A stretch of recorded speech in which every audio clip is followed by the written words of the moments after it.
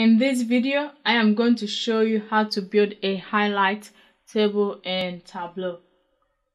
So in this video, I'm actually, I'm just going to show you which airports and which carriers have the highest wait time. So to do that, I'm going to take my measure, which is minutes of delay per flight, and I'm going to grab it and put it on text alright? And then I'm going to click it and press ctrl to copy it and drag it to color. As you can see right now it is highlighted. For to, for this to be a highlight table make sure you choose square from the drop down. If you forget to choose square from this drop down then you're just going to get a highlighted text. So click on square. Now the background is highlighted as opposed to, to the text itself. And now I'm just going to take um, airport carrier name and then airport name. Maybe I'll switch this up a bit. Okay so now this is showing us sum, but I don't want sum. What I want is the average. So I'm going to change the aggregation method to average and also change the aggregation method here to average. Alright, so now what we are looking at is the average wait time per flight for the different flights now i want to really really highlight flights um, um carriers and airports that has a flight delay an average flight delay of let's say more than an hour. And I'm going to change this into entire view to make it a little bit easier to see. And let's go here. Let's go on color or we can edit the color from here. And I'm just going to choose I'm going to choose red blue white I'm going to choose red blue white divergent. And since I want to show airport that has a delay delay flight of actually let's make it 25 minutes. Why not? Or 30 minutes. Let's just make it 30 minutes I want to highlight airports and carriers that has an average flight delay of more than 30 minutes. And to do that, I'll go to advanced and I'll center at 30. And from here, you can see your changes even before you click OK. If you just click apply, you'll be able to see your changes.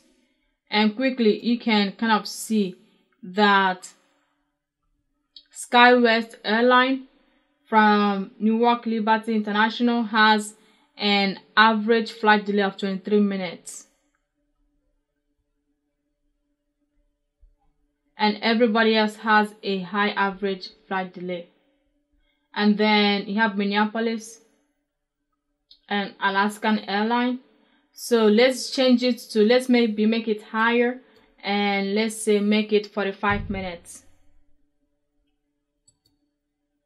Now we can um, see even more of our data right? Or let's say let's make it um 60 minutes. Now this looks even more interesting right? We could really really really see which airports and which carriers has a really high average flight delay time. Like pinnacle and from Charlotte airport has a really high flight delay time. While um, other airports like SkyWest from Newark or um, Alaska from Minneapolis you know they have um, a lower average flight delay time but um This is how you build a highlight table in Tableau.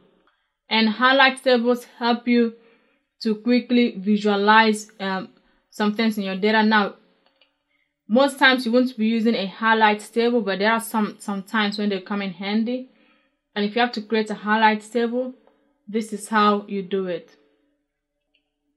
You could use other, and it, it could use um, different measures for color and label, but you have to be very careful how you do that to not confuse your end users. So you could take number of flights and put it in color, you know, and then if you highlight over it to tell you the number of flights.